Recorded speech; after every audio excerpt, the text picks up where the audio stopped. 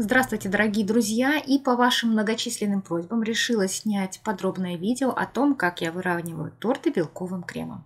Выравнивать буду при помощи насадки номер 200.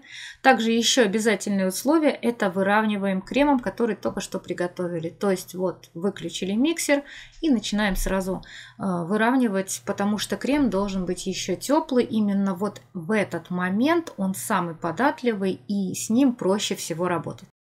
Перед тем, как начать выравнивание, также небольшим количеством крема вы можете собрать все вот крошки, которые э, есть на вашем тортике. Я не наношу никакой дополнительный слой, просто собираю крошки либо основным кремом с торта, э, либо белковым кремом. Тут смотрите сами, как вам будет удобней. Как видно на видео, зубчиками я веду к торту и гладкой стороной к себе. Также, конечно же, наверху мы делаем вот такой небольшой бортик. Специально я заострила на этом внимание, для того, чтобы когда мы с вами будем наносить вот этот верхний слой, он мог зацепиться за борта крема который мы с вами сделали заранее. Также, конечно же, заполняем все вот эти вот пространства, которые вы видите на видео.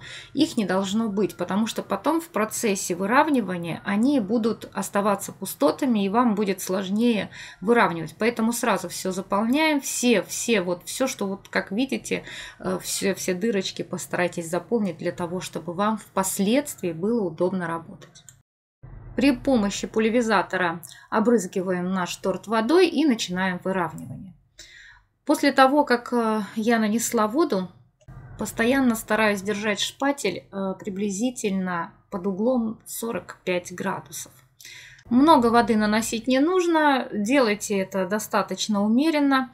И смотрите, чтобы ваш э, крем не тянулся за шпателем, а шпатель как бы по крему скользил. Это и есть самое главное правило в БЗК. То есть если крем тянется за шпателем, то естественно он будет с тортика сниматься. А нужно именно, чтобы он скользил. Стараюсь всегда работать кремом, который э, сняла с боков. То есть при первом выравнивании у нас всегда на шпателе остается крем.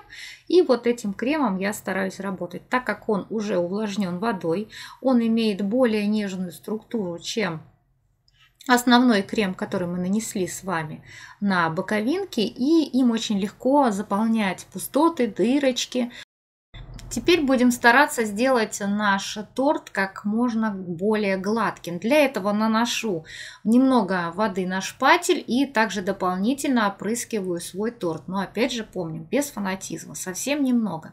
Ну и теперь держим опять же шпатель под углом, ну приблизительно 35 градусов. Уже сделала такой более острый угол. И теперь стараюсь просто разгладить. Все, что э, не получается разгладить у меня шпателем, я делаю делаю ножом. Вот если вот такие маленькие вот дырочки, пустоты, прохожусь дополнительно ножиком. Но вы можете, конечно, делать это и любым другим инструментом, который будет вам более удобным.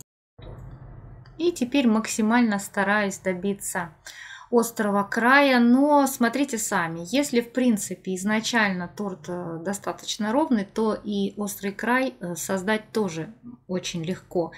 Но бывает такое, что долго мучаюсь и могу торт один несчастный вот много раз гонять, э, смачивать, либо просто выравнивать. Тут смотрите сами, насколько вам хочется, чтобы он был идеальным.